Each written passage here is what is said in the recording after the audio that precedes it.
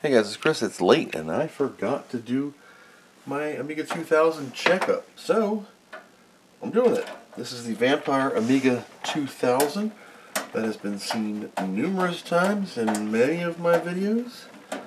And it has a Vampire FPGA 68080, a GVP 4008 SCSI card with a 5 disc Nakamichi whatever MJ5-16 uh,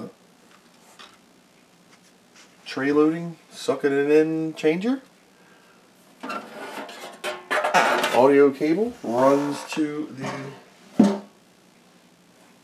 uh, internal device. ENC28J60 Ethernet card with very custom stupid one foot cable to a coupler that I run out the back. My HDMI for the RTG is simply a ghetto coupler with a thing, and I have a uh, you know regular HDMI cable in here. It has a ribbony uh, this thing, the micro SD card with electrical tape on it, using a cheap Chinesium 44 pin to IDE. It's like this. This is just the exact card I'm using with exact cable. Has been recapped totally and has been working quite well. But I like to go in here and give it a what's up. This is a FB354 with a Gotek with a faceplate that is in the lid faceplate. Uh, like a like a little whatever it's called, filler, a filler that is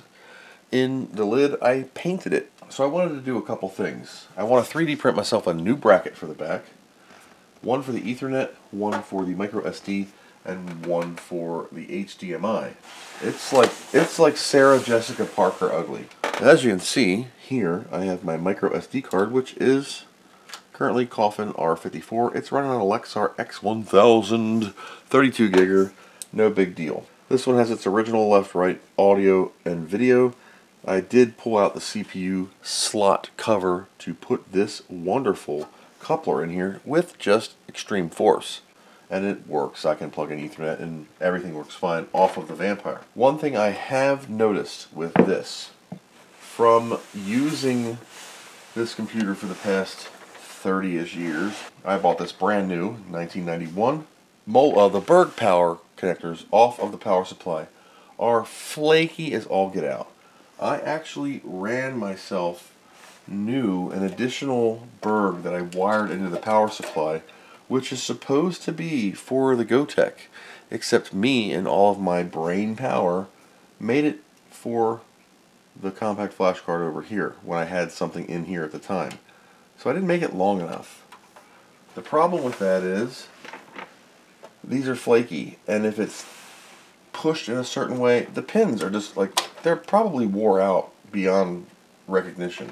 So I'm going to do the right thing and shove it underneath of the floppy drive cable and then shove it into the Gotek. If I don't touch it, it's normally good. Now it's probably going to work. So once I plug this back in and turn this on, I should get my Gotek screen. Flash floppy version 3.1.6. Whew. I gotta do an update.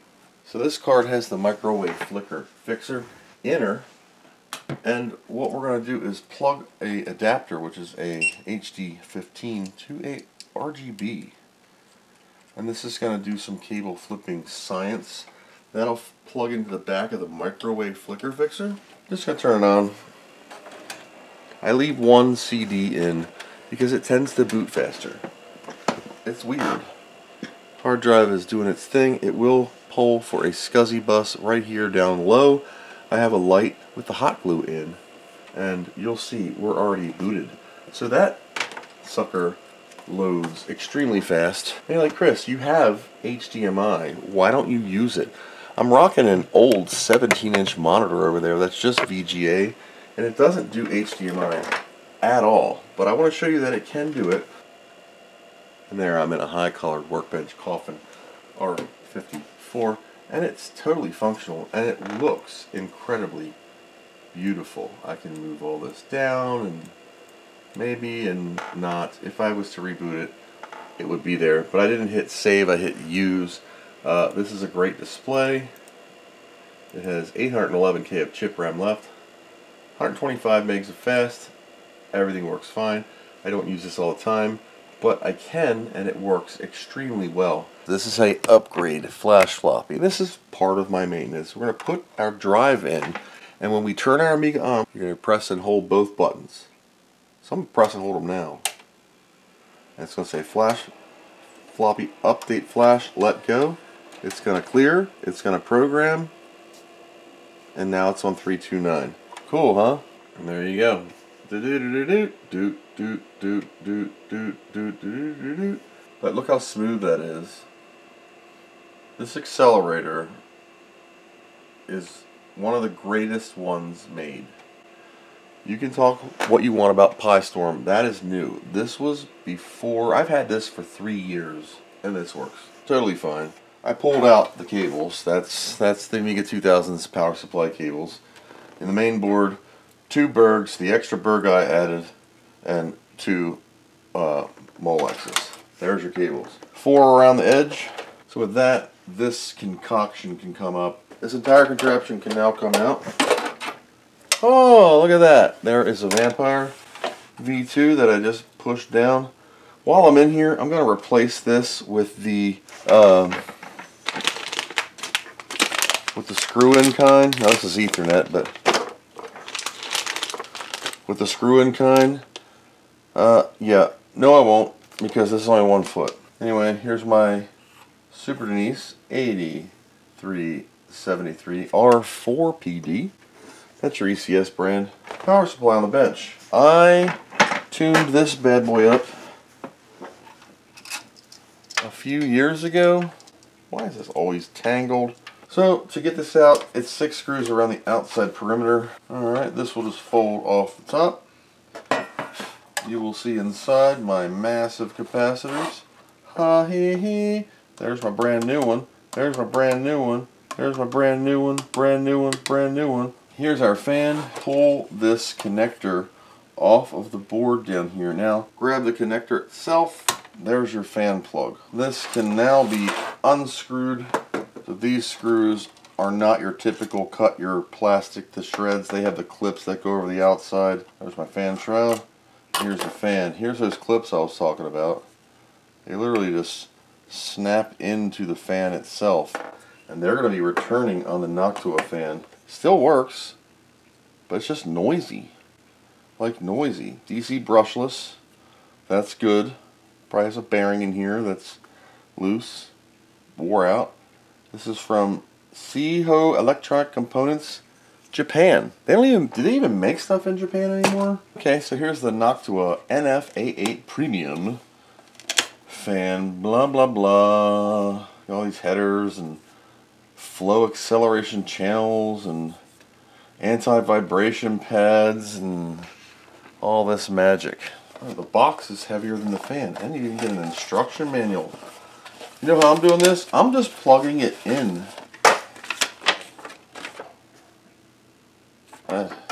Here's the fan screws I'm talking about.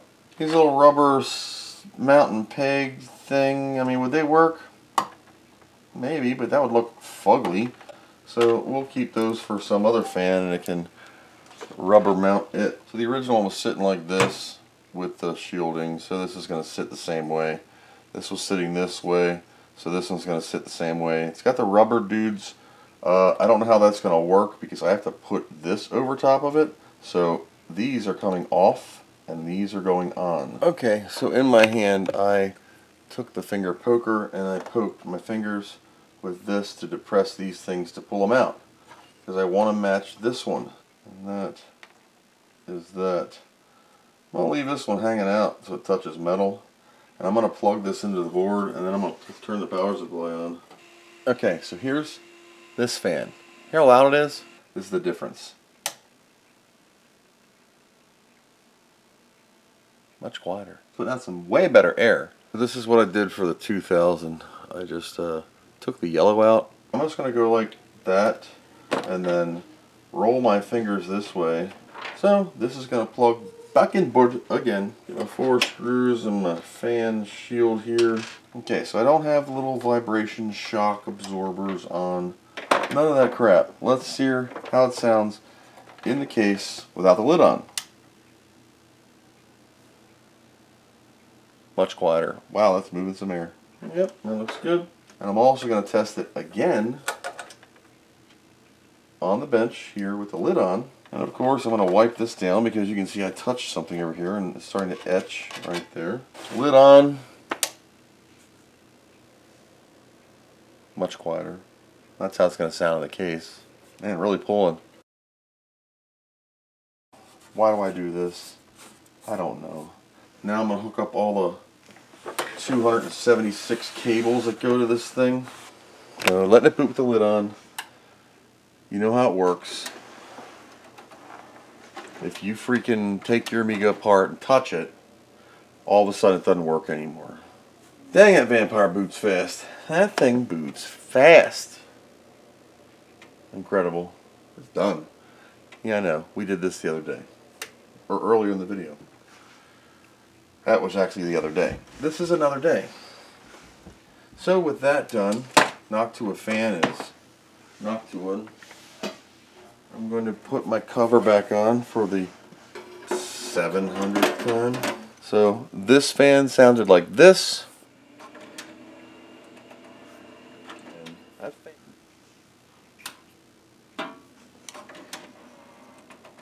Can I still hear it? Yeah. Is this loud? Not at all. Can you make them whisper quiet? There's a resistor in one of these packs. It's called quiet mode. It's got a resistor in here. Low noise adapter. I think it just slows it down. I don't care. It's cooling. It's it's nice. It works great. This thing already booted. It's crazy. Crazy fast.